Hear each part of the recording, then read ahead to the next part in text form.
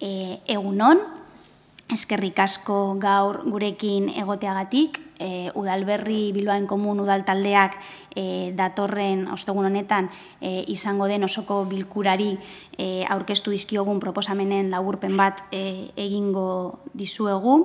E, esan, esaten nuen moduan, e, Podemos, Eskeran Itza Izkerda Unida eta Ekuok osotzen dugun udal koalizioak, lau proposamen propio eta baterako beste bat aurkeztuko ditugu Bilbo turistentzat, baina batez ere iribilduan urte osoan bizi garen ontzat erakargarriagoa egiteko asmoarekin. Joan den udan turismoaren gaia maiz ikusi dugu prentzaren izenburuetan, baina lehenagotik ere, gure eremu politikotik, lanean ari ginen sektorearen gaur egungo ereduari alternatibak eskaintzeko. Turismo eredu jasangarri bat defendatu behar dela uste dugu. Modu orekatu batean hasiko dena, estatuko beste hiri batzuetan nabari diren arazoak saiesteko. Horregatik, uste dugu badela garaia Bilbora bizitan datozen turistentzako tasa bat esartzeko. Besteak beste, Frantzian, Danimarkan eta Austrian egiten duten bezala. Funtsezkoa da, udal zerga izatea, udalaren zerbitzu publikoak hobetzeko eta turismo eredu jasangarria edatzeko erabili daiten.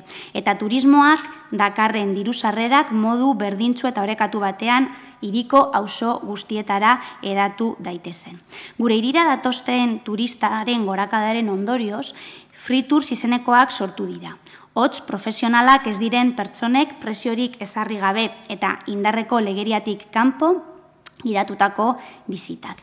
Gure ustez, jardunbide horrek kalte egin diezaioke Bilbao turismoren bizita gidatuen eskaintzari eta kezkagarria iruditzen zaigu lan prekarietatea nagusi den sektore horretan langabeziak ere gora egitea eragin lezakela. Horregatik, eskatzen dugu bizitaldi horiek egiteko eskumenak erregularizatzea administrazioak ofizialki honetzitako profesionalentzat. Batik bat, hainbat neurri hartuko liratekelako sektore horretan lan prekarietatea murrizteko. Gure lana, pertsonen bizitza hobetzeko lagungarri izatea nahi dugu, eta horregatik, erakundeek zenbait ekimen xume abian jartzea laguntza handikoa izan daitekela iruditzen zaigu.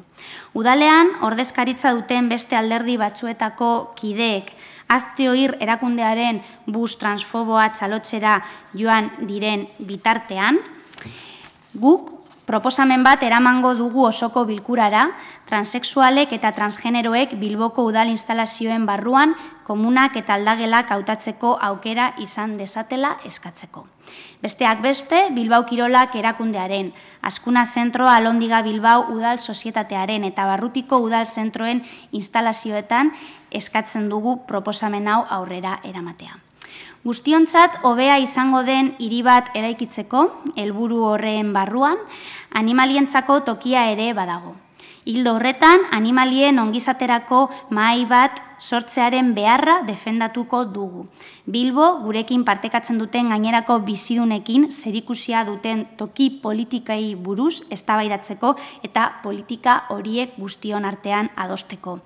Udaleko Udal talde ezberdinetako, bizkaiko albaitarien elkargo ofizialeko, animaliak babesteko elkarteetako eta lagundu nahi duten kolektibo animalistetako ordezkariek mai horretan parte hartu beharko luketela uste dugu guztion artean esaten nuen moduan eh, animalien inguruko politiken inguruko erabakiak e, adostasunez hartu alizateko.